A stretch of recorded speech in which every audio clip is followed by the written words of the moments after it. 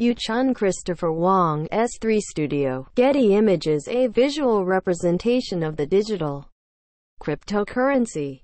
Bitcoin is seen on September 4, 2018 in Hong Kong. Hong Kong. This week brought more bad news for Bitcoin investors.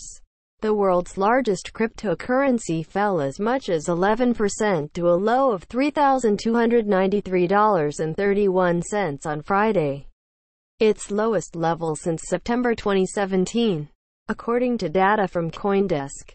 Over the past seven days, Bitcoin is down more than 20%.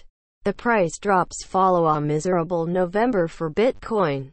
The cryptocurrency ended the month down 37%. Its worst drop since April 2011 when the cryptocurrency fell about 39%. According to data from Coindesk, Show chapters can blockchain save Bitcoin. 7.30 p.m. Eastern Time Friday. The 30th of November 2018. 1 o'clock Other major cryptocurrencies also suffered on Friday.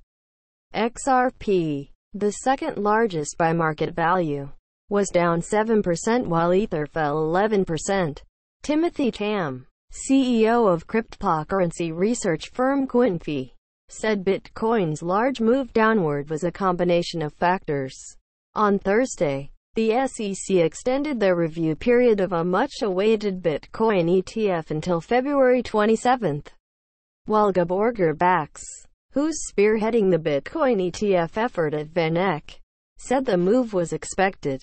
The market still reacted. Tweet Historically there is price correlation with expectation of an ETF approval and downward movement when the ETF gets rejected or delayed. Tam told CNBC Friday. Sentiment among retail investors in the crypto space is already negative. So any negative news like this generates an overreaction.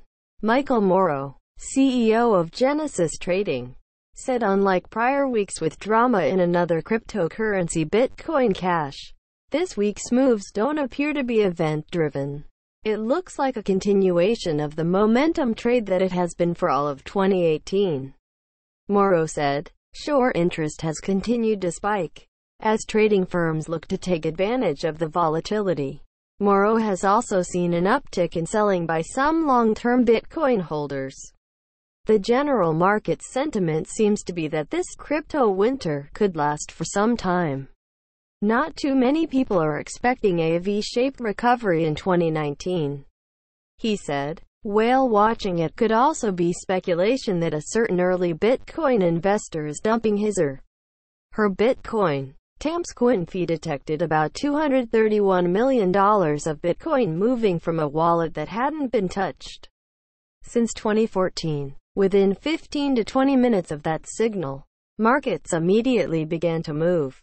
Tam said, again, it's a knee-jerk reaction.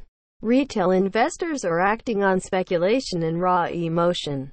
The problem is that the signal, that wallet transfer, was very real. CoinFi provides signal data to some large investors and if even one of them decides to liquidate based on that signal, it could end up triggering a chain reaction.